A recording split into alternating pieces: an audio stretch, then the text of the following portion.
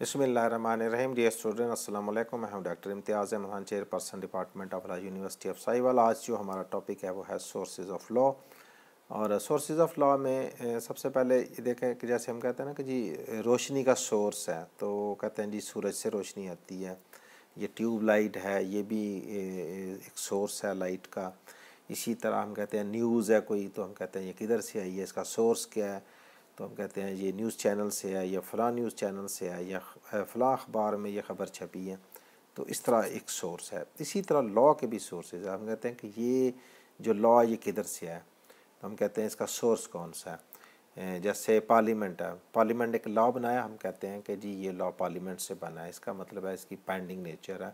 اور اسی طرح جب ہم کہتے ہیں کہ اگر کوئی لاء ویلڈ ہے، تو وہ پراپر سورس سے آیا یا ہم یہ کہہ سکتے ہیں دوسرے الفاظ میں کہ اگر یہ پراپر سورس سے آیا تو یہ ایک ویلڈ ٹول ہے۔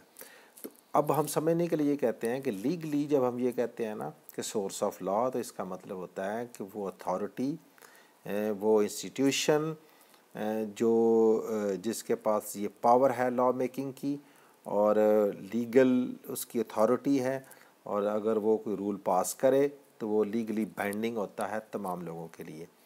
تو اس کا مطلب ہے کہ جب ہم سورس آف لا کی بات کرتے ہیں تو ہم کہتے ہیں کہ یہ رول آف ہیومن کنڈکٹ ہے، وہ کہاں سے اپنی ویلیڈیٹی کہاں سے اپنی فورس جو ہے نا وہ ڈرائیو کرتا ہے؟ کیسے پتہ چلتا ہے کہ یہ ایک بائنڈنگ نیچر ہے اس کی اور سب نے اس کو فالو کرنا ہے؟ تو اگر وہ پراپر سورس ہے، جیسے فار ایگزامپل پارلیمنٹ ہے، ہم کہتے ہیں پارلیمنٹ نے لا بنایا تو پارلیمنٹ کا لا ہے، تو ظاہر ہے یہ بائنڈنگ نیچر ہے۔